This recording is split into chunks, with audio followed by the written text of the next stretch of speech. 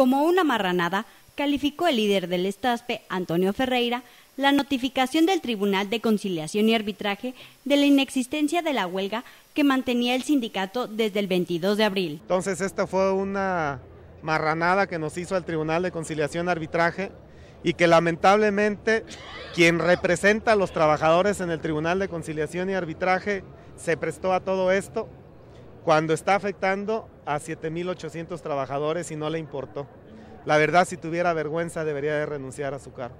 Dijo que todo este proceso en torno a la huelga ha estado amañado. Ayer a las 9 de la noche el Tribunal de Conciliación y Arbitraje nos notificó la inexistencia de la huelga, pero como yo lo venía declarando durante el transcurso del día, me daba la impresión de que el gobierno del Estado estaba acomodando los tiempos para complicarnos las cosas. Antonio Ferreira dijo que por el horario en que se notificó y al ser el primero de mayo un día no laboral, el tiempo fue insuficiente para que el sindicato se defendiera legalmente. El gobierno del estado nos dio tres horas para leer, analizar y elaborar un amparo que no alcanzamos a presentar.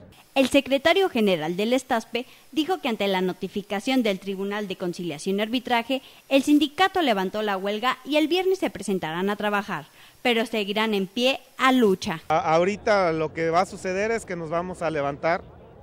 Este, mañana nos tenemos que presentar a trabajar. Pero bueno, se pierde una batalla. Vamos a seguir en la lucha. Antonio Ferreira aseguró que si bien no les han pagado la segunda quincena de abril, analizará si reciben el sueldo o no. En lo personal solo cobrará los seis días que laboró. No se nos ha pagado. Vamos a analizar si le recibimos ese dinero que no trabajamos. Yo, al menos yo, Toño Ferreira, yo no se lo voy a recibir.